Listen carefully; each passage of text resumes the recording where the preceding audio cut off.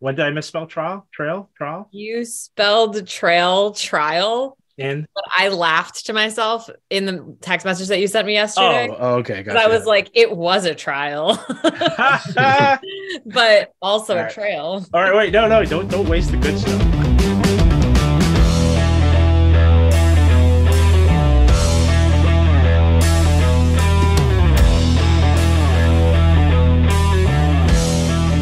Welcome to Retraction.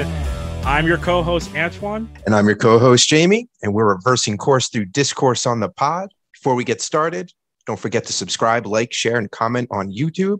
Follow us on Twitter at Retraction Media and subscribe on Apple, Spotify, Google, Amazon, and more. It is episode 100. Coming at ya. We made it, people. We made it. We're still doing it. We still like each other.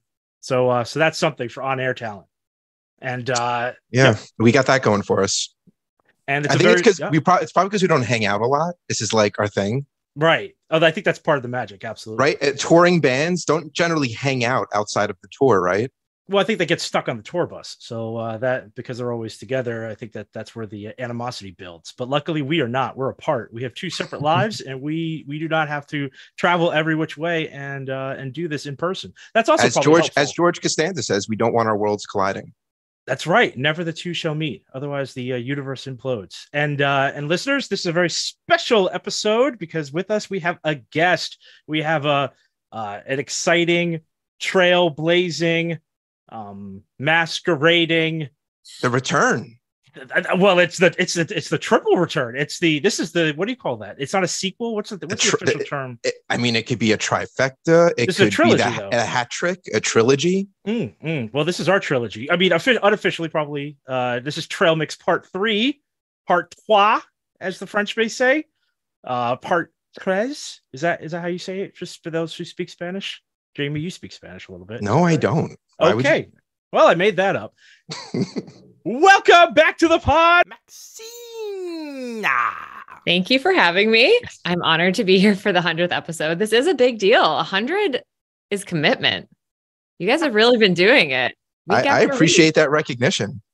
I love that. I love that. That's like the kind of thing you say when something is continues to go, but it's no longer as good as it should be. Like the that's what you would say maybe to Matt Groening of The Simpsons. You're like, wow, you're No, still but- making those episodes. Or it's like- Fantastic. It's like Fer- at the end of Ferris Bueller when he's like, "You're still here."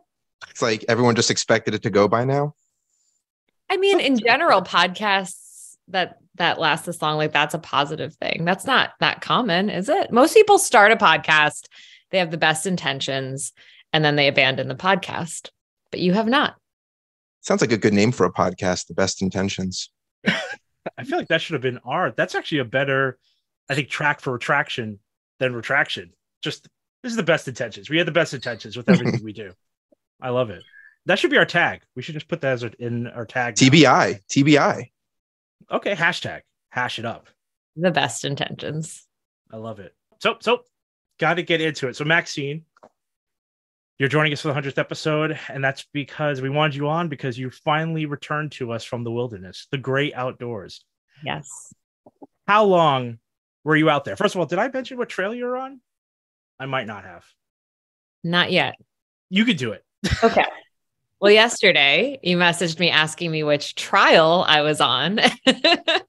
and not only was it a trail, but it was indeed a trial.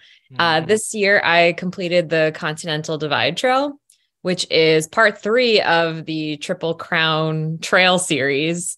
So I hiked the Appalachian Trail in 2018, Pacific Crest Trail in 2019, and now I've done the Continental Divide Trail in this year, 2022. And I'm back. I think that's wild. First of all, you've done a triple crown, and this is your third time on the pod. So, have we been there for every step of the le- like every yeah every leg of this journey? Wow. You have. I was thinking An that like, this exclusive. is a trilogy. Or, or first. Or first. this is my triple crown of your podcast. so thank you. I love So it. you said it was. Um. It's the Continental Divide Trail, the Appalachian, and what was the second one you went on? Pacific Crest Trail. Pacific Crest Trail. And so, what does the Continental Divide Trail cover? So it runs from Mexico to Canada, just like the Pacific Crest Trail, but it goes through New Mexico, Colorado, Wyoming, Idaho, and Montana. Wow. And how long did that take? It took me 144 days to hike.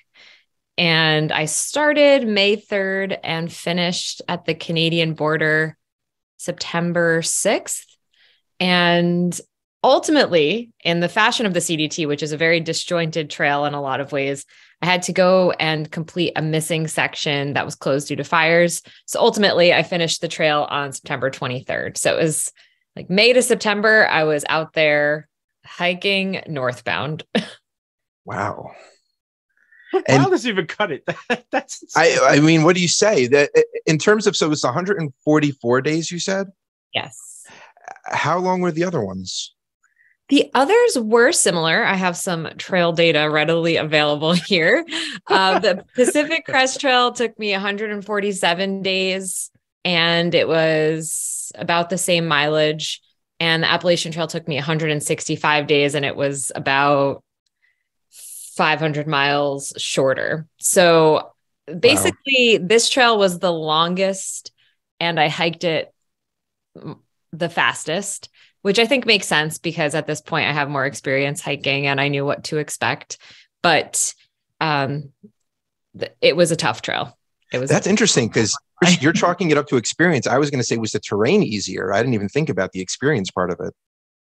In some ways, the terrain was easier in other ways it was harder so it's really hard to to sort of compare there um the so just for ease of reference i will call it the cdt it's just faster more efficient. So it is um it's a defined trail but there are some parts that are unclear and that are still being developed.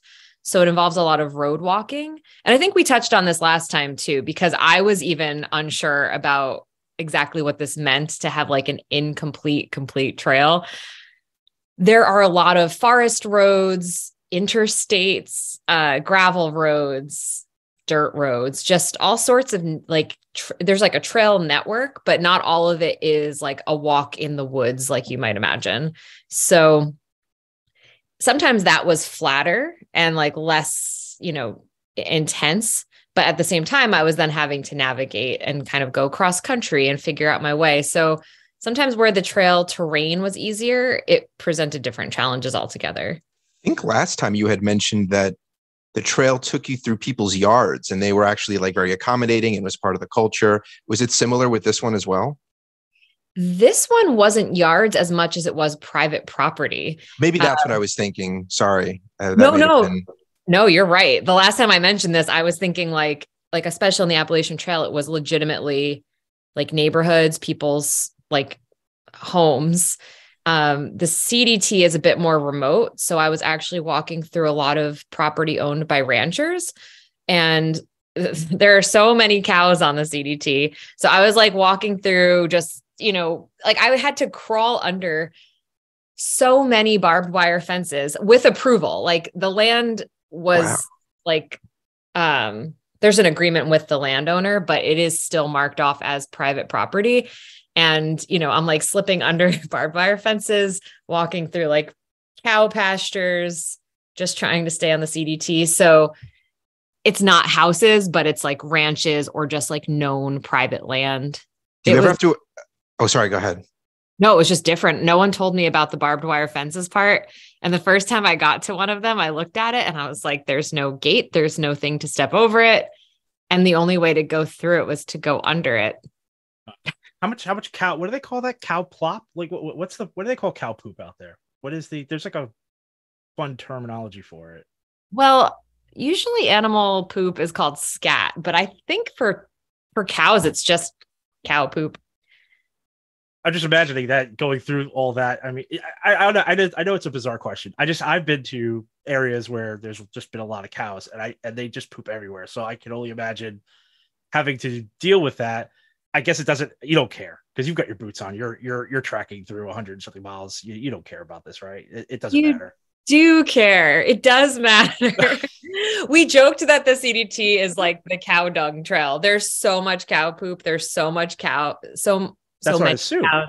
Yeah. You do get used to it, but it's incredible how many cows you're navigating, which honestly, sometimes herds of cows made me a little bit nervous, especially the bulls in the group are pretty Mhm. aggressive and you can like look at a herd and basically spot the bulls. Mhm. And I've definitely had a few turn and look at me in a way that made me uncomfortable and they kind of like moved their hoof in a assertive way Right. Right. and I just would talk to the cows, walk around them, tell Could you- them what I'm doing. It was Could you give us a sample right now? Could you put on your cow voice? Hi. Did you move to did you I'm to the walking cows? through." I did not move. You But I guys did- Yeah. Sorry. no, I did try to speak to them in a soft, gentle voice.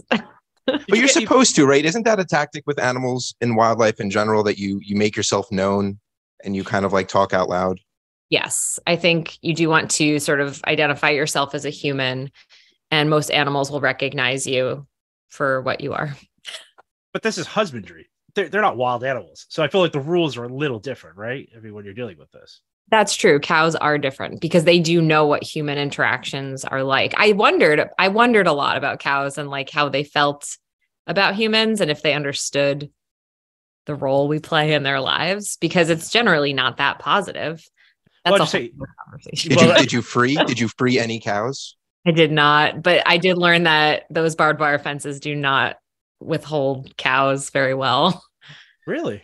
So when you wait, wait, entered wait, go wait, wait, hold on, wait. Go ahead. you- can you go on a little bit more about that? What is it? I, I would have normally assumed that they do their job. Cows stay within the designated area via the barbed wire. What what did you learn about while being out there in terms of the cows and their restraints?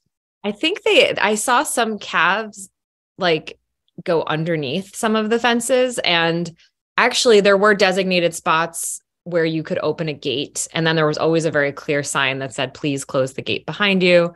So you know as a hiker you are like opening and closing these gates but they're actually really hard to open and close at times. So you do your best but I'm sure people have left gates open and then the cows get out and I really don't know what happens after that because this is someone's property like I imagine that causes some some problems if the cows do get through the gate. Um, are, are they like branded in any way where they would be returned? Yeah, they, they a lot a lot of them had like the tags in their ears. Some of them had visible branding. Yeah. I didn't expect them to be such a feature of the trail, but they they were from the beginning to the end. Like I was just like, how did a cow get up here on this ridge? Don't understand. So you said that you you're entering private property and there's an agreement, an unspoken agreement between hikers and the property owners. But were you ever asked to identify yourself or did was there like a protocol that if you were ever like what do you say? What do you do for that? That's a good question. I do, I did not find myself in that scenario, but I know people who got off of the trail or were trying to follow a different road to a different point because a lot of the CDT is a choose your own adventure.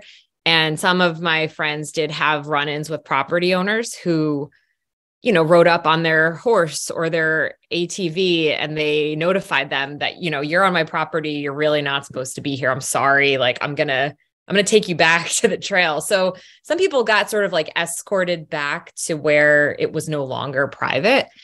Um, but that never really happened to me. There were definitely times where I was on guard, um, wondering if someone would come out and ask me what I was doing, but it didn't happen to me, fortunately. Why would that why would that happen? Because I thought there was an there isn't an agreement. I guess it's not a wholesale agreement with everybody around that area. Some people can pick and choose whether they want to participate. Like, you know, are they Yeah. putting are they putting a sock on the door to let to let you know, you know, either to come in or or not come in? Like, is that is that going on? Because I, I would imagine that might be a little bit more helpful in those areas where they know that the the the fencing is near the trail to just sort of put some demarcation on that portion of the fence to let hikers know whether it's okay to come in or or not. A red light, green light, if you will. Yeah, that's a good point. And there are there are a lot of like tr- no trespassing signs, private property signs, but a lot of times there might be like another tiny sign or an unofficial one that says like this does not apply to hikers or there's like a note of it in this app that um all hikers, well not all, but most through hikers use an app called Far Out Guides and it's like a map of the trail and it has like user generated comments on certain waypoints. So if you get to an area that's unclear, it might say like, "Hey, I saw the property owner come out and say get off my property."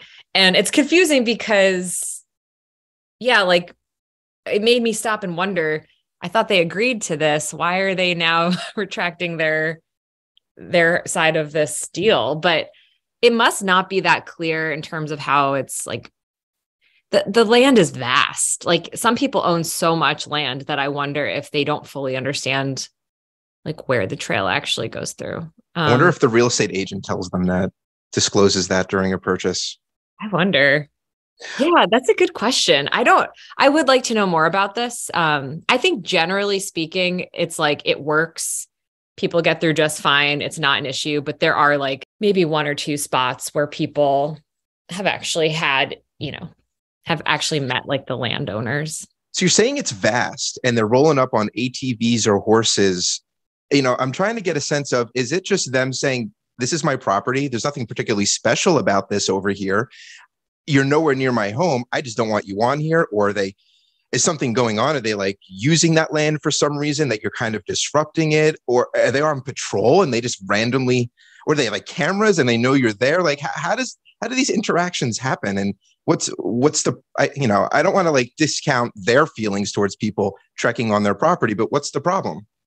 I also wonder that, but I guess in general, if you don't know what through hikers are doing, you're like, why are these dirty, smelly people wandering through my land? And they look like they're going to sleep on it for a while. like, you know, they probably just oh, like squatters. You don't want them yeah, squatting on your property. Maybe like we don't look like the most, you know, I don't know.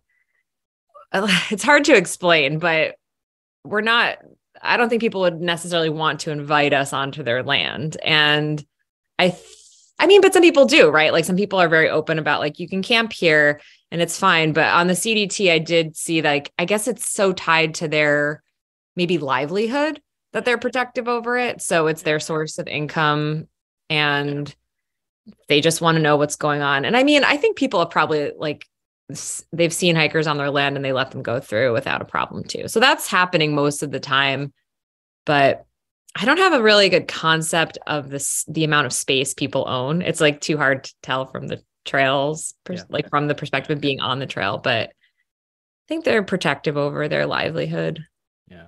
Don't don't worry. A lot of uh a lot of them don't know how much they they own either because like it's like Bill Gates and a couple of billionaires anyway that own all that landed. So did you people working it? did you encounter anyone's property that is well known? I mean, is that uh, do you know of that at all? Like you're like, oh, this is someone nationally recognized, or is it all just people you've never heard of? It's all people I've never heard of. Um, though I was unknowingly very close to the home that the Unabomber once lived in. In Ted Kaczynski? Yeah. He lived in a cabin in the woods and it was very close to a spot that was just outside. Oh, what town was it? It was near, it was in Montana, but I found that out after the fact. Well, wow. other than that, unknown. but the, you saw the cabin, or or it's just the it's just the spot. Does the cabin just still exist? Spot. Oh, I don't yeah. think the cabin exists, but apparently I was eerily close to where it once was. Okay. Wow. So, so you had mentioned that you're you were in Montana for part of it, and yes. that you're on ranches, and we often do wolf updates.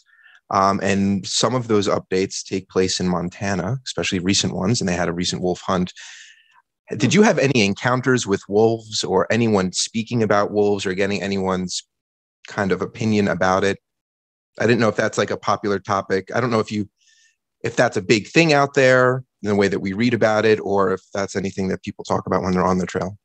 Is this a big thing that people talk about? Um, the people who are tracking these things, they care about it. But when you think about what the, I guess, the narrative is for ranchers and hunters, that this would be somewhat big. I mean, there's this push to either get to either conserve them or to hunt them um, and for various reasons. So there is all of this lobbying effort around it. So is it a big thing for us out on the coasts? Probably not. but that's kind of why I'm asking. Is this even discussed out there if you had mingled with any locals or if you had any encounter with wolves? Because the whole point of the so-called need for a wolf hunt is because there's a wolf problem and they're attacking ranchers and livestock and they're overrunning the areas. Uh, the populations are growing too big, even though they're being miscounted. So I was kind of wondering if if you had any perspective on that when you were out there. It didn't come up very often. I know there are efforts to sort of release wolves. So I think there was an effort in Colorado. And to be honest, I I heard that and I felt just internal panic because I was like, great, another creature to be aware of in the wilderness. Um, but it didn't come up too often with ranchers or locals. Maybe just once where someone noted that it is a threat to the livestock. So they're concerned from that perspective.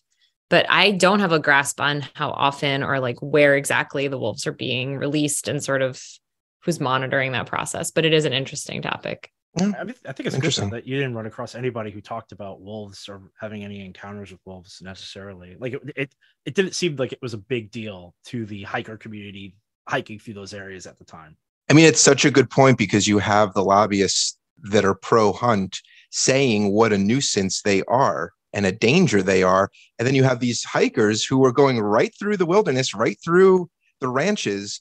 And it's not this big thing on the trail where they're like, don't go this way there's wolves or so and so had an encounter with a wolf yesterday you're out there for 144 days and it's it's kind of nothing so it's just not the whole story but it's a piece of it so thank you there are a lot of other i guess there are a lot of other animals that are at the top of our lists of concerns and conversation too i mean not that they are wolves, but like similar. I guess I've heard a lot of coyotes at night. Like that's probably the closest thing to a wolf that yeah, I sure. experienced.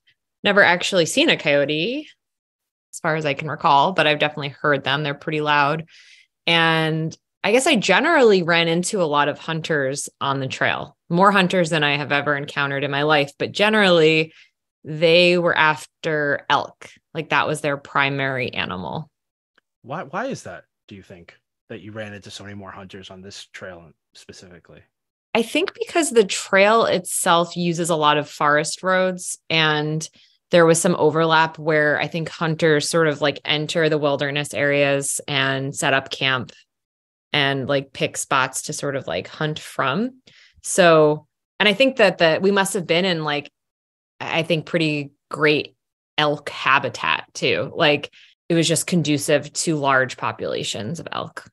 So were you hiking like on the way that they were walking to their car or is the trail going right through where they're like setting up shop to hunt and they're just like yeah that's the trail over there hopefully no one gets shot yeah I, I have to say i did wonder and sort of worry about that i never had any issues because i think i think that they're generally well i mean i know i don't know that much about hunting but there are different weapons used right like sometimes it's actual guns sometimes it's like bow and arrow.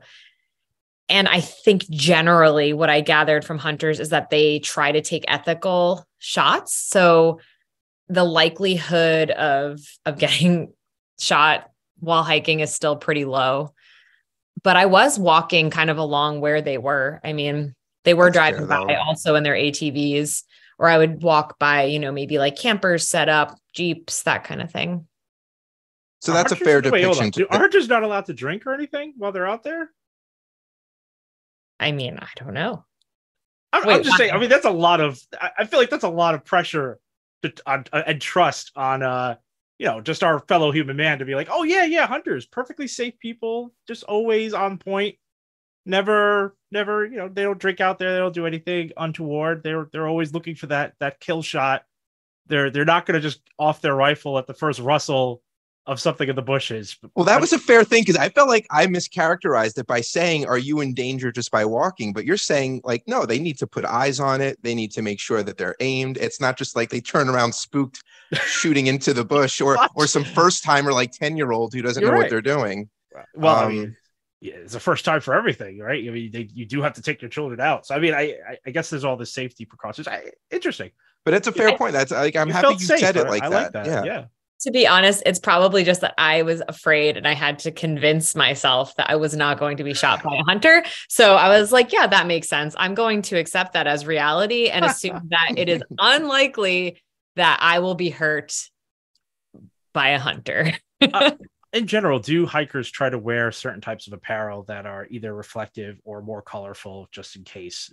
Is that something that hikers like you know traditionally they would or do you, do, you do? do you talk out loud so that hunters hear you like the animals yeah they nice um... hunters nice hunters well it's interesting because i guess hunting season it depends on where you are and what time of year but it seems like fall is the biggest concern and usually it's advised to wear like a bright orange color okay. like either a hat or a jacket or like a headband um I didn't have anything like that on the CDT, um, but it was okay. Okay. I have to ask, do you just get eaten alive by bugs out there? There are sections and times of year where, yes, you do. And when I was hiking through Wyoming, the mosquitoes were so bad. I was wearing rain gear, like my rain pants, my rain jacket, a head net, and it was so bad that I couldn't sit down long enough to to even eat. Like I had to like eat underneath my head net because the mosquitoes were just attacking me. But so it was a very small section, but it was very memorable. And it varies based on the trail and the season, but there's usually like a solid week where you're just cursing the existence of mosquitoes. Did you know it going in? Is that part of the app like you're entering mosquito country now? Yeah, you kind of know. You kind of know. Um, Is it um, swampy? It, I guess what like the worst mosquito moments I had were near Yellowstone National Park. And I wouldn't say that it's swampy, but it is different. It's like geothermal um terrain. And I think it was the time of it was like the time of the year where it was just peak mosquito hell because I knew people who were also in Montana experiencing the same thing. So I think it was a timing issue the worst part about it was that not only was I battling mosquitoes in that section of trail, that's around where grizzly bears became a concern as well. And it was hard because, you know, you can't sleep with your food and you can't have it in your tent. So you're like trying to eat dinner, but not in your tent where you would be safe from mosquitoes, but then putting yourself at risk for a bear waking you up in the middle of the night. So it's like you're just always juggling all these different variables. I think it's interesting that the Bears was the main concern, not yeah, like again, not the Wolves. It's the, it's always the Bears. I always feel like whenever you talk talk about the hiking community, anyone, it's always Bears are the issue. Grizzly bears particularly terrified me because we don't have to worry about that in most parts of the US, except for li- the Continental Divide, basically north of Lander, Wyoming, all the way to the Canadian border. Your thinking about grizzly bears and taking the appropriate precautions. So this was the first trail that I carried bear spray with me um, and learned how to use it because it's it's pretty effective at deterring grizzlies because they will they will maul you. I mean, they most won't. Like you'll probably be okay. Again, like a script that I repeated to myself over and over again, but there's still a risk. Yeah, most of the time it just takes once, right? I mean, most of the time can hold up to be true and you could still get hurt. So it's good to take precautions. And it took me until my second to last night on trail to see grizzlies. So I worried for months. And then when I was in Glacier National Park, I saw a mother and three cubs run through the campsite that I was in. And if I wasn't with about eight other people, I probably would have been terrified. But I had pretty good group support and the bears had wanted nothing to do with us. But that's kind of the worst case scenario. You really don't want to come across a mother and her cubs. They looked very cute. I was taken aback by how cute but i was like wait terrified also. When, when you so, say group support is that because it's by the numbers? Like you just feel like now it's a one out of eight chance that it's me? Pretty much. Okay. I felt like we could scare the grizzlies away if we oh, had collectively Gotcha. collectively. Okay. Um, I don't. I think it would be more unlikely that it would come after us as a group. And it was known. Um, when I got to that campsite, because there are designated spots in Glacier, and someone who already got there was like, "Hey, just so you know, one of the park rangers told us that there's a mother and cubs that runs through this campsite every night, but typically runs through and keeps going. So Typically. Typically, I'm, I was like, I'm going to hang on to that language of typically, and I'm sure it'll be fine. So tell me the first word that comes to mind Pacific Crest Trail, Views, Appalachian Trail, green tunnel, Continental Divide. remote. Nice. Nice. Now, what tell so the green tunnel stuck out. What's what's that? on the Appalachian Trail, you rarely, you know, g- get the sort of grand views of the land. Like you're generally in the trees. It is more of a walk in the woods. So they call it the Green Tunnel because you're generally walking through like rhododendron thickets or just like forests. Whereas on the Pacific Crest Trail, you tend to be above tree line most of the time. So you're just getting these like expansive views of sort of high alpine areas or desert or still you're in the forest but just it's not the like defining feature That's great. You did so much better. I almost didn't want to ask you that because if someone was to ask me, I totally would botch the whole thing. I'm not good on the spot like that, but I was really impressed. Nice job. i'm not good on the spot either so i'm glad it worked out You're good enough. Thank you. Good enough. good enough. All that matters. I mean, so do you have a favorite or is it like they're all amazing for different reasons? both. They're all amazing for different reasons but now the cdt is my favorite.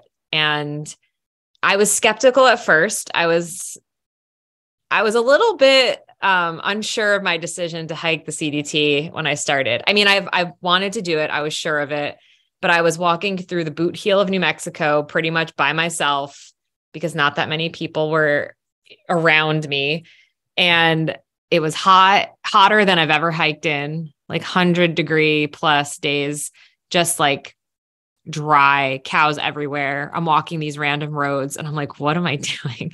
But over time, I think the CDT was everything that I like wanted and needed it to be. So I got this really great balance of solitude and autonomy, but also I did make really great friends. I kind of developed a trail family as I went along but even when I was with them and had the support of having people around me, I still was always like making my own decisions for myself, like hiking my own hike, as they say.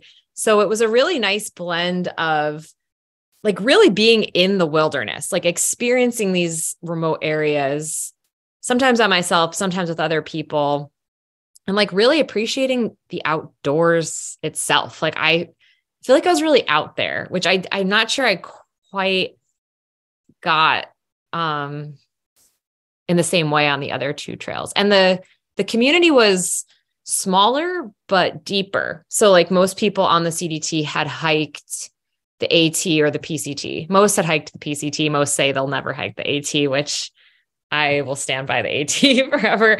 Um so it was interesting to have all of these sort of overlapping connections like i met a lot of people who were on the pct in 2019 as well and you know, you have this immediate bond and understanding, even if I didn't meet them on that trail. Um, and then I'm going through like these beautiful areas like Glacier National Park, Yellowstone National Park, the Wind River Range. Like it was, it was on another level. So like high highs, low lows, but in the end, like a really good blend of views and people, which kind of like tied together my PCT and AT experiences. It sounds like it's the level of experience that I feel like you're drawn to here because I feel like in the past, uh, not only did you not have a lot of experience, but I felt like a lot of the people you were also hiking with were relatively novice hikers. There was not many people who had like a, a you know a breadth of hiking experience under their belt necessarily. It feels like this is the trail. You know, this is the this is the uh this is like Thunderdome. Like this is these are the people who know what they're doing. And so when they get together, they have a better understanding. Not not a lot of clingers. I felt like you you you know, I I kind of want you to get a little bit more into the the the the hiking family on this trail a little bit, uh, just because uh, you've you've you've you've sort of discussed it with a bit of a. Here, it feels a lot more um, optimistic than I feel like you have in the past. Yeah, it was different. It was different because I went into it knowing what I wanted. Um, and I think you're right. I think people were more experienced and just the the whole culture and mindset around the CDT is very different. Um, there are a lot of different and like and we touched on this a little bit last time too. Like there are some alternates. Like you can choose your own path. There's like one designated line, but people sort of it's like encouraged to take a different route. Um, it's a little bit more route finding and less you're going to walk from point A to point B on this one trail. And it honestly, that as a rigid person who's kind of a purist when it comes to trails, it was very difficult to sort of embrace that and be okay with taking alternate paths, you know, on the fly, like just deciding, okay, you know what, I could go this way. Why don't I try that? It's more beautiful or it's shorter. So there was just like a lot of freedom to make different decisions. And I think that people that I was around were thinking outside of the box a bit more. And so people were comfortable making their own decisions and sort of standing by them. So it's like, you know, okay, well, I'm going to do this. I'm going to do this and I'll see you in town or I'll see you in a couple days. Like there was a lot of flexibility and sort of open-mindedness when it came to experiencing the trail. You mentioned last time, and Antoine kind of brought it up, the trail families. And it, it is funny when he's when he just mentioned it in that way. Like there was this I think it was mixed feelings, but it was like kind of theme that was coming through. But I also remember you saying that at certain stopping points you could decide to stay longer or or go faster to kind of like leave people behind and get a new group. Did you find that that was kind of the same here, or did you stick with the same group more or less, even though they might have lagged or got ahead of them? You always kind of returned, or did you, whether it was intentional or not, find new groups of people? It's uh, let's see. Actually, the group pretty much stuck together. It formed in Colorado, and even though there were a few different configurations, um, the core of the group pretty much made it to Canada together with like a few additions to the group. Um, so I think for the most part, it it stayed together in a way. I guess we lost a few people right at the start of Colorado because it's it's a tricky area. There's a lot of snow, and I think people have different feelings about it. So I felt fortunate that I was with three other people that felt fairly confident in the snow, like with with that kind of um, snow travel. And so the group that I was in for the first couple of days split sort of based on that. But from there to the end, it stayed very consistent. There was kind just, of like a bubble I'm sorry. I'm just fascinated. The, the way that you're talking about it, I'm like listening as if it's a movie, but I'm also very aware that you lived and breathed and sweat and cried through this probably. Like, oh, yeah, you know, we're comfortable with like snow, whatever. How hard, like, how much of it are we not really understanding? Like it was it, just trekking through Colorado in the snow, and it, it just people dropped off because of how difficult it was. But you were three people who knew what they were doing, and you made it through. I mean, is there just like a an anecdote or a story of how hard it really was? That's oh, it is. It's hard to come back from a through hike because it's very difficult to convey all of the like micro experiences that occur on a daily basis. And it was really hard. I mean, sometimes it's not, right? Sometimes it's beautiful and you're just walking along and it's fine. But most of the CDT required a lot of focus and attention. And there there were a few days in early Colorado in the San Juan Mountains where I encountered snow and you're at like 11,000, 12,000 feet. So you're up there. I got very lucky. It was a pretty, pretty low snow year. So not, um, not terrible, like definitely manageable, but it's so hard to explain. But there was just sort of like the, the trail kind of contours around a mountain and like in this one day, I'm like being nearly blown off the mountain at 70 mile per hour winds. And like, okay, that's fine. I, I survived that. And then I get to this like snowy traverse where I have to take out my ice axe and my micro spikes. And I'm just taking the most careful steps one after another. And this was like the first time I was back in snow since the Sierra on the PCT. So I was just very focused. I shed a few tears. I had a really good friend with me. So he was like, You got this. You're going to be fine. But, you know, if you zoom out, I'm I'm at like 12,000 feet traversing the side of a mountain with like four other people, three or four other people, just sticking my ice axe into the side, taking careful steps and hoping not to slide down. It's just, it's bizarre. it's a bizarre way to live. I mean, I mean, you, you're evoking the, uh, you know, the imagery of the Fellowship of the Ring. In my I, head, I, I didn't want to say it. I, I, didn't well, that's want all I to can think of. I mean, you're talking about your fellowship. You're talking about your people. Uh, you, you even said it. You're putting your ice your ice axe into the ground, and, I, and so I was like, I'm, I'm imagining Maxine with a with a mask with a big spear. Uh, you're wearing a non-orange uh, wizard hat. Uh, the wind is blowing in your face. Someone's yelling, "We have to go back. We have to turn back." Another person's like, "We could go through the mountain, but of course the dwarves they they delve too deep. Stop, Paul. You know, is that is that is that what you are we are we You're- simpatico? Are we is are That's we in it. line? You got it. okay. I think I think that's definitely it. For anyone I that think needs the. I- I- imagery in their head, that's it. That's way that's- better than I could have done. That's so much closer to reality. I love Now that. you did this alone though, right? Like you started out alone. I did. This was my most solo effort. Um, but again, always a trail community around. I will say though, the first 400 miles of New Mexico, I was really alone. And most of the time, even when I had a group, I was the slower one in the group. So I tended to be behind. So, you know, I would spend most of the day hiking by myself. Um, but there were also periods where I was like hiking, you know, not side by side, but as close as you could get to that with people.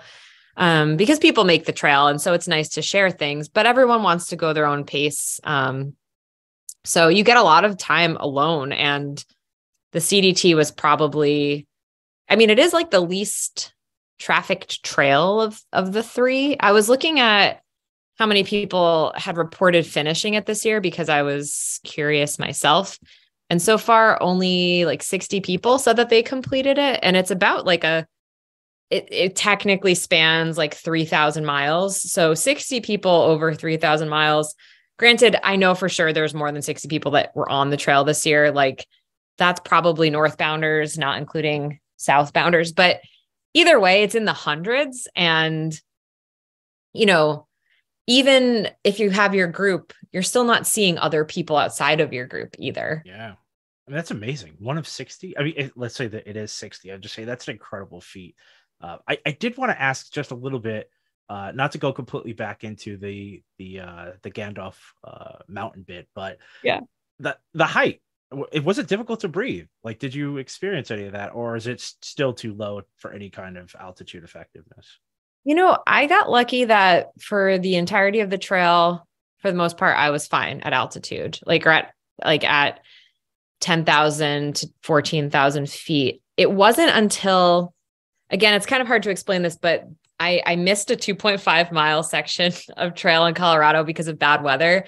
And because I'm sort of a purist, continuous footpath person, I went back to Colorado after I got to Canada with some of my friends and hiked this short section of trail that um, was at around 13,000, 14,000 feet. And I was up there for maybe like, like three hours or so. And I got super altitude sick. Like it had never happened to me before. And I felt really nauseous, lightheaded. My decision making felt compromised. I was like taking these steps that felt foreign to me, but I had no choice because the only way to get out of that scenario was to keep hiking. And thankfully, um, at the end of this like short but very high elevation hike, there was um, a pair of men having lunch in their Jeep at like 14, well, at 13,000 feet. They decided to drive up this like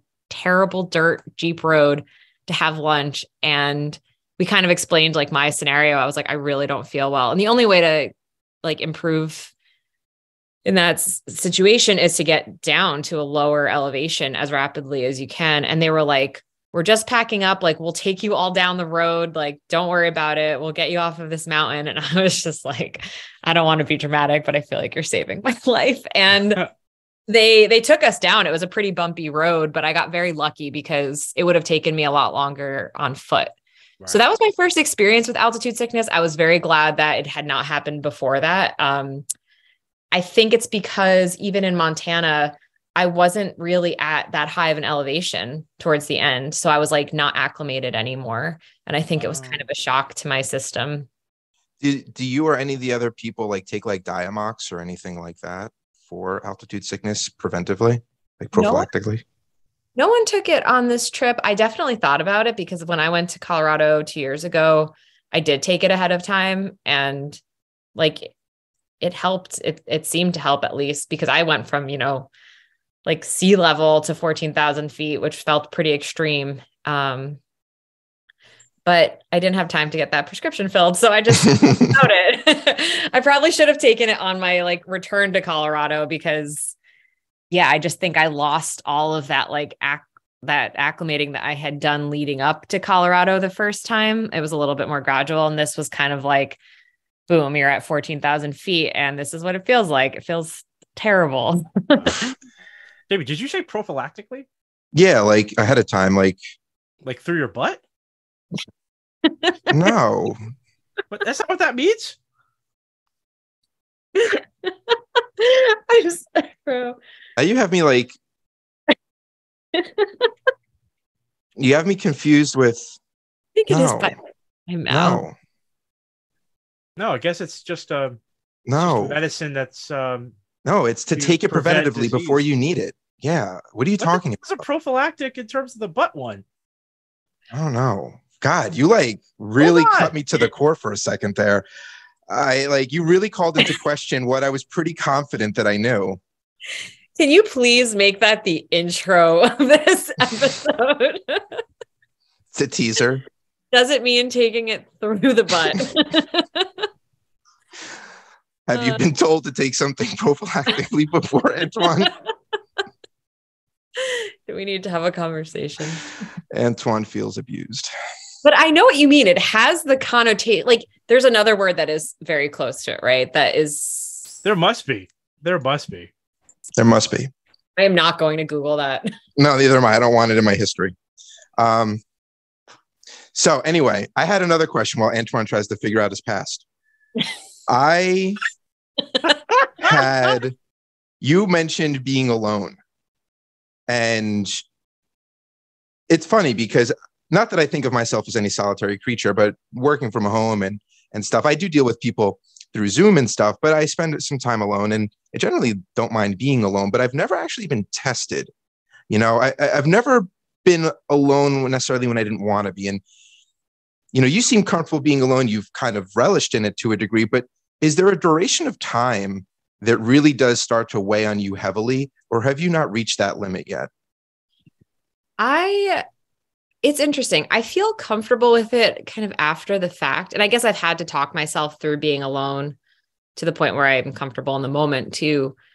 I'd say on the CDT, there was a part in the Gila River wilderness where I was alone for almost 48 hours. I didn't see another person. And that's the longest I've gone without seeing a human. I actually thought I saw a person and it was a bear. And I was like, I'm alone out here. God, it kind of gives uh, credence to the whole like Yeti or Bigfoot thing, right? you, you're you're out there alone and you think it's a human, but it's actually a bear, and then it's Bigfoot. Yeah. I don't know. It's a stretch, but I, I was sure these were bears, but I was very upset because I was like, I really wanted to see a person because I'm like in this canyon by myself. And I know that there are people just ahead of me and just behind me, but it really felt like I'd have to wait hours, if not a day, to see somebody, probably just hours in reality. So I'd say like 48 hours was kind of pushing my limit where I was like, I don't love this. I know I can do it, but I'd prefer to see another person right now. And I actually I hiked the um fun fact I hiked another trail after the CDT, which is kind of to me interesting because it's called the Benton MacKaye Trail. And just real quick, it's 300 miles. It goes through the Smokies and goes down to Springer Mountain. So my thought was like, I'm going to hike this trail back to Springer Mountain where my whole Triple Crown pursuit started, because that's where the AT begins. And I was very alone on that trail, like more so than any trail that I've hiked before, including the long trail, which was also a very solo endeavor. And I camped alone um, like eight out of 12 nights on trail. And that was the most, like, that was the like the highest percentage of time I had spent on a trail by myself. Did you find that to be unnerving? I, I almost wanted to ask you, did, was that the hardest because you're alone and you feel more vulnerable? Like, was that was that almost like a um, not like a miscalculation, but like uh, like like over not overconfidence, but it was at a situation where you're like, oh, it's just a 300 mile one. It's nothing compared to these big ones. I'm just going to jump into it, and then you're like, whoa. Or no, was it just I was lonely, but I got this? It was a mixture of the two. It definitely made me think, okay, I'm done with through hiking for now. I got I've I got my fill. Um and but like looking back on it, I really appreciate the experience because when you're alone, you really do have to think through things differently. Like you can wish with all of your might that you weren't setting up your tent by yourself and that you weren't hearing rustling in the leaves outside, wondering if it's a bear or a wild boar or a person. But you're like, I have no choice but to accept this reality and go to sleep, and it'll probably be fine. So, like, I kind of I, I hate the time alone and I love it because it forces me into this mental space where I have no choice.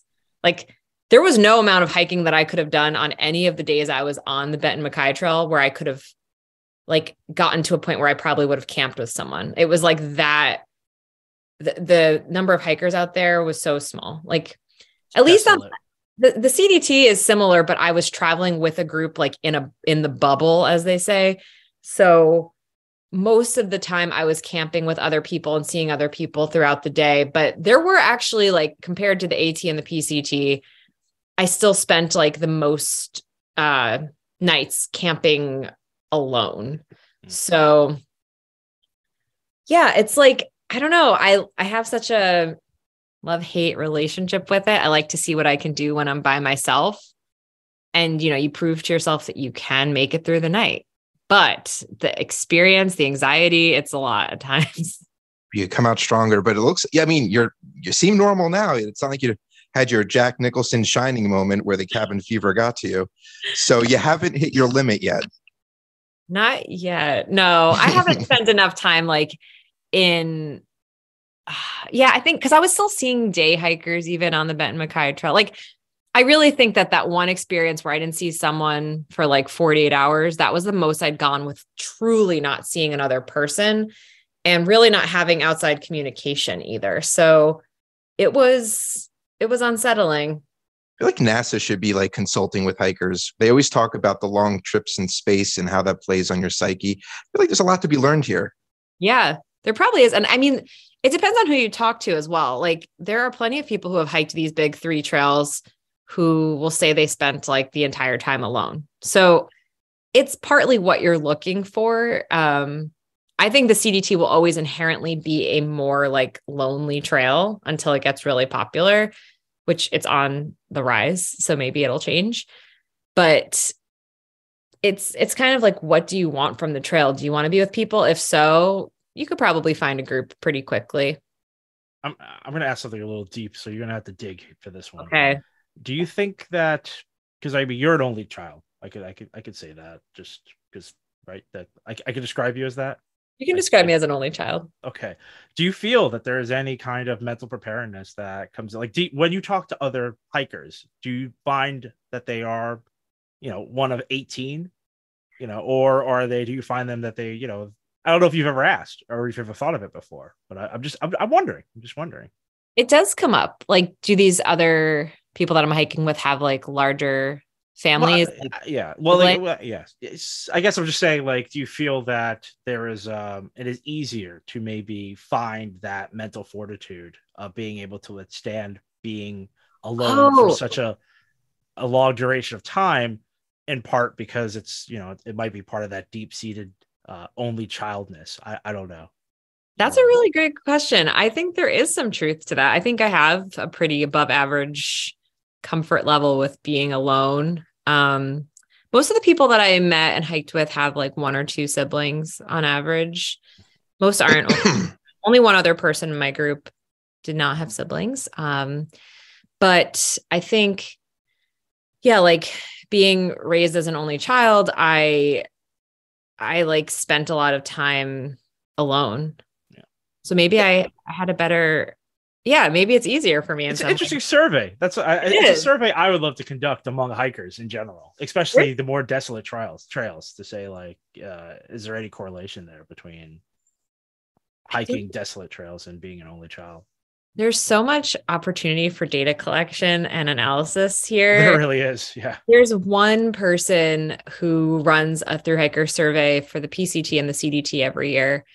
And I've relied on it in the past for just like, you know, it's it's good to see sort of the trends in like the people who succeed at the through hike versus fail. Like he he does a really good job of analyzing the data he can get. Um, but I'm like, I want to see it because I wonder if there's any other like interesting insights to be gathered there. Yeah. I mean, right right off the bat, as soon as you were talking about the ranchers that are friendly versus unfriendly, I was like, oh my God, there's such a good app for that. You could just you could just crowdsource collect. It's it's a it's a Tinder for for uh, hiker for uh, ranchers who are more ami- amicable to having you on their land. you will get a certain number of stars, like an Uber rating. It's like four, friendly four, 4.5 stars for a friendly rancher. Right. You get friendly, unfriendly, downright disgusting. Stay as far away from this person as as humanly possible. 4.5 cows. there you go. There you go. It's see, it's it's it's writing itself. So if any if any app developers happen to be listening to our uh, our little show here, I think the I think there's an idea that's out there for you. So I have a goofy question, sort of. So for, forgive the examples, um, but there are movies like Jaws or Twister or like Lake Placid where you have like these professionals. So like you would be like professional, right? And so would all your fellow hikers. But in the movies, they kind of like get a little campy, and there's always like the minimalist, like the Quentin from from uh from Jaws. I think that's his name, right, Antoine? If I remember the guy correctly, or I no, the co-captain. Okay. Um, or or the Twister, uh, Bill Paxton, right? Who's like the the guy. Uh, so you have like the minimalist, but he's the experienced person, and then you have like the inexperienced, but like the techie guy or the techie person. And I was curious if the trail is kind of divided up into that too amongst the professionals, amongst the experienced folk to a degree, where you have people who are just like down to earth, minimalist, doing the bare necessities, or the people that come with all the gadgets and gizmos. And and if that is the case, how does that do they mix? Th- before you answer, Maxine, I think Jamie's trying to ask you if you just took a a, a through hiker family, could you in fact send them on a mission to break apart an asteroid that may or may not be coming to destroy the Earth? uh, because they're a rag. Because obviously, every through family is nothing more than a ragtag bunch of misfits from all different walks of life that uh, have come together in order to accomplish uh, an an extraordinary feat. Obviously, no, that's so, not uh, what so, I'm saying. Maxine, please, it, was there a uh, what's his name, Steve Buscemi, in your in your uh, in your through family? Um, no, if you have you seen Twister? It's the guy that was plays Robin Hood in Men in Tights. He's like the tech dude, the the guy that's like has is like super well funded. So to be like a really rich person who is just has all the technology at his disposal, or you have the people who just by experience know how to get by, and whether they have money or not, they're not spending it on on support for the in the trail. Well, okay. First of all, that that like whole genre of like a team of people has to stop an asteroid from hitting Earth is like my favorite sci-fi movie plot number 1 number 2 if my trail family had to address a situation like that it would be a complete disaster but it would be hilarious. So it would be very entertaining but most likely the asteroid would hit earth. Okay. so okay. everyone brings their strengths and their weaknesses with them and it is this ragtag group of people right? Like really random but it works so well. You know we we stood the test of weather and terrain and time and it's incredible actually. Everyone kind of brought their different strengths. I mean everyone and and i would say though that everyone was experienced minimalist and willing to endure. Like there's like a high level of comfort with suffering but ridiculous like ridiculous suffering we we opted you know, we would take zero days, but then we would be, let's say, we joked that once we got like 50 miles from town, like, you know, you'd you'd hike on the trail for basically like 100 mile stretches and it's like town to town, so you get your supplies in each each town, take a shower, do laundry. Whenever we were 50 miles within town limit, we would joke like, "Oh, we could just hike to town today." And a couple of times we hiked like 50 miles to just make it make it for breakfast the next day. you know, this involves like hiking through the night for hours, but you're like, this sounds like a great idea because I really want coffee. So, like, I'm willing to hike more now so I can hike less tomorrow. So, everyone had this like weird, like psychological drive for type 2 fun. And i think that's what brought us together. Like we all wanted to achieve this one kind of wacky there's something primal about that though like going back to like the day where there was no transportation and with when you wanted something you had to earn it. And yeah it was probably maybe not maybe totally worth it in the end but you had to make a commitment to get there to find out. Yeah yeah, Jamie took it to a primal. I mean, I, I immediately just said, you know, this is again, it's this sounds like Oregon Trail. It does. Just sounds like the decisions you make. You know, you needed some provisions. You really wanted that those the, those extra bit of um jerky and, and a couple extra bullets just for the road. So you so you ford the river, and uh, you may have lost someone along the way. I know that time is, you know, uh, I appreciate that you're here with us, but I know time is not infinite. Climate change I feel like we have not discussed that aspect of this trail in particular. Did you notice anything? Was there anything that was extra that was out of the ordinary that a lot of the hikers were talking about uh, this past year uh, with regard to this trail? I thought about this more because of our our last conversation, so I was like on alert. I was like, "Am I seeing anything that stands out to me?" Um, I guess. I mean, the fires were an issue this year, pretty much right off the bat, which was uh, unexpected to me. Like, again, I really don't know if I can speak to climate change specifically. Like, I don't know like the full. Yeah, yeah, naturally, yeah. We're not asking like... you to stand on ceremony and explain climate change and how it's impacting uh, but I can say fires were an issue. Yeah. Fires were an issue on the CDT this year and on the PCT, probably more p- problematic on the PCT, if anything. But in New Mexico, 250 miles of trail closed right away. So like I had to like bypass that and that's why I had to go back. Um but I think it was just very dry, very windy. I'd say like wind played a very big role this year. Maybe it's the same in in previous years too, but again, this might be worth fact checking, but I heard that so wind obviously like spreading the fires and whatnot, but then the snow levels in like the southern part of Colorado were were below average. And I think it's because the winds were so high that they were blowing dirt onto the snow, which was like making the snow melt faster, but only like in a certain part of Colorado.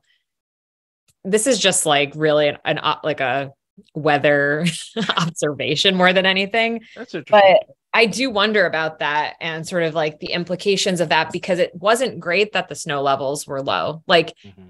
from a through hiker perspective, it was nice. I was like, well, this is good. I can make it through that part. But obviously that has other implications. So that might that might be a broader issue, but one that I need to look into. Did you find the temperatures during the summer to be like were people saying that it was it was it hotter than usual at all, or or was it just run of the mill? Seemed run of the mill. Okay. I mean, New Mexico is just really hot. Um, but you know, I did walk through a lot of burn areas, so areas that were previously on on fire. And that's definitely hard to see because, you know, it's just like these charred forests um, that will take, I don't know, life lifetimes to to grow back. So I think a lot of damage had been previously done. Again, this is something I really need to like familiarize myself with more with like wildfires and land management and all of that. Okay. No, no, I appreciate Sorry, it. it's not as informative. I I just like to hear it from the horse's mouth. You know, you're out there, you're in the field. I just like to hear what people are talking about who are on the ground, who are seeing this kind of stuff firsthand. So, uh, no, I appreciate it. Uh, that's that's it's, it's it's good. It's good to to have firsthand uh, accounts of what's going on out there. Fires are bad in the West. That is my takeaway, and they're becoming an increasingly large problem. Well, okay. I mean, it's climate change, not the fact that there are fires, but the intensity, the frequency, how much they're destroying. That's just becoming more and more. So you're safe to say that. Yeah. I, I had some rapid fire questions. Okay. Let's see. Maybe the first one might not be as rapid fire, but last time you had mentioned currency on the trail. And I was curious now that you've been on three and, and many other hikes. Is the currency always the same? And like, what was the current, what was like, I don't know if it was the the most currency or your favorite. Like, what was what was being traded amongst the the hikers? Oh, I guess there's there's some food sharing and some uh cable sharing. what does that mean, cable? Like you're for instance i have a garmin watch right? And i carried my garmin charger to connect my external battery pack. For some reason two people in my trail family did not have their own. So like i was usually lending it to them. Um so you just share a lot of things. And sometimes it'll be like toothpaste. Sometimes one person will carry a tube of toothpaste and then at night be like who needs toothpaste? Um fuel is another thing that's sometimes shared but not as commonly, I guess. Um, and then yeah, there's just like a snack trade. Okay. So in terms of sharing, it's the essentials, but when it comes to trading, it's it's food. It sounds Usually like food. Yeah, you would trade food. Okay. Um in now that you've done 3 and again many others, do you feel whether it was planned or not that each of the trails have been a, a progression in difficulty for you or has it kind of just been all over? Or are they kind of all difficult and easy in their own way? I think it's a blend but the cdt really did feel like the most difficult of them all mostly because it was like multiple difficult variables at once. Like it was never just one concern. It was like mosquitoes and grizzly bears or like lightning and being at 13,000 feet. So the the hazards, let's say, came in pairs. Whereas on the AT and the PCT, it was more like, okay, I'm worrying about this one thing. Like right now, I'm really worried about traversing the snow, but I'm not necessarily worried about an incoming thunderstorm. Like there, there were, they were more isolated. Whereas I feel like the CDT typically through what my trail family would call a wild card at you every day. So you'd wake up and you'd be like, great day. It's going to be wonderful. And then it's 75, 70 mile per hour winds blowing you off of a ridge. And that's your wild card for the day. You know, it's a lot of my gear broke on this trail. I mean, I was able to repair it while I was hiking, but it definitely like put everything to the test. Like one night my tent pole snapped and I was like, of course my tent pole snapped. I'm on the CDT. this has never happened to me before. Just little things like that, they add up and they they make it hard. So I would say CDT is definitely the hardest of the three in my opinion. Did you know that going in that that would be that that was something you wanted to keep till last? Or eight last in terms of this this trifecta?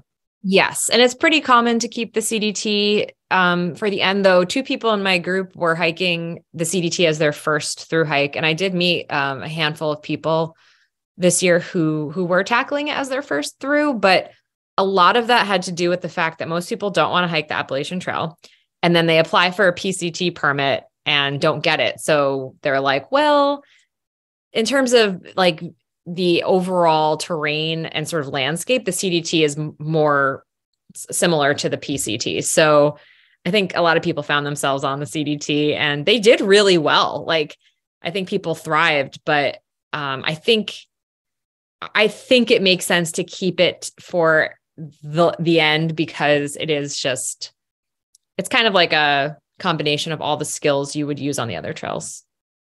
All right, I have three questions. One, and this is really like selfish for me.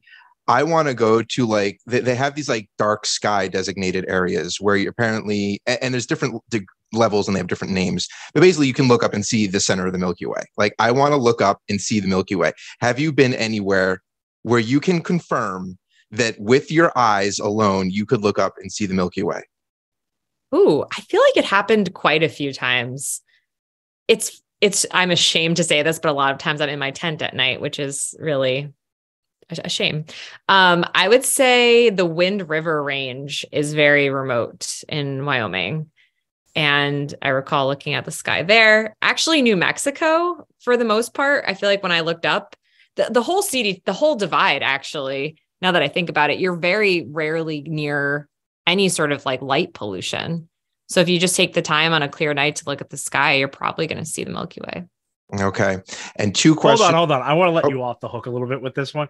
Okay, how go ahead. Cold, how cold is it at night? Um, well, I think probably the coldest was like in the tw- maybe like the low 20s at times, like in Colorado at elevation. But I hiked it going northbound, and that was my experience. I'm pretty sure people who hiked southbound experienced like single digit temperatures because they were out there like later in the season. Yeah. Okay. I just wanted to clarify that. When you're like, you know, you're you're like, oh, I'm I'm in my tent at night. It's like because you might freeze to death otherwise. Oh, yeah. thank you. Yes, yes. I was cold. so, so that's why you're not up, you know, with your hands back behind your head, uh, you know, your legs crossed, just uh, pondering the mysteries of the universe, looking into the night skies. Because while you're doing that, icicles are forming, and you're slowly uh, you're hypothermia into uh, to death. I, I, I was... made it a verb just to illustrate how ridiculous JB's scenario was proposed to you. No, no, but ridiculous. I asked if she saw the night sky. A lot of you would. I mean, I should see the night sky. I saw the night sky every night, but I was cold a lot of the times a lot of people will like cowboy camp, which is like camping without your tent. Like you just set up your sleeping bag on top of like a ground sheet. Mm-hmm. And I only did that a few times just because I like my tent. I like my thin, thin walls. But there were times where I was like, oh, it is nice, like falling asleep, like looking at the sky. Like it, it just makes you feel very small in like a, a good way, you know? So mm-hmm. that's beautiful. I would recommend cowboy camping along the divide and that's probably the best way to get like a solid view of the night sky how do you stay warm if you're cowboy camping your sleeping bag typically keeps you pretty warm like mine was rated for 10 degrees so okay. It was it was still warm. Just the one of the nights that i cowboy camped uh i did it with everyone around me. We were all like yeah let's not use our tents. And then at 5 a.m it was like a complete downpour. Like imagine someone turns a shower on you. Like there was no warning no like drips. It was just like full on downpour. Everything got soaked. And I was like, this is why I don't cowboy camp. so, two questions for any hikers or, or new hikers or people interested in hiking that may find this helpful.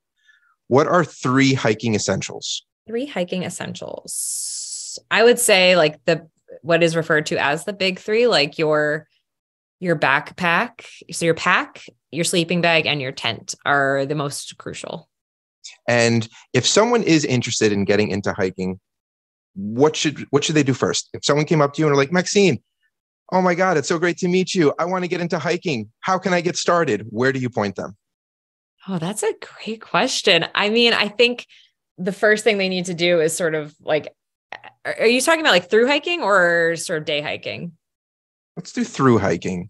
Okay. Through hiking.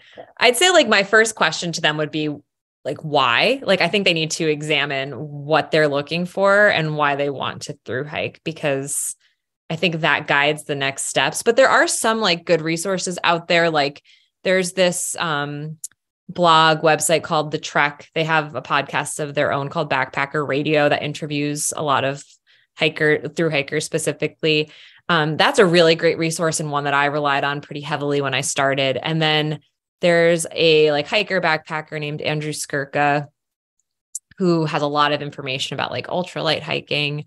And I think just like turning to social media, finding people who have hiked these trails and looking through their experiences.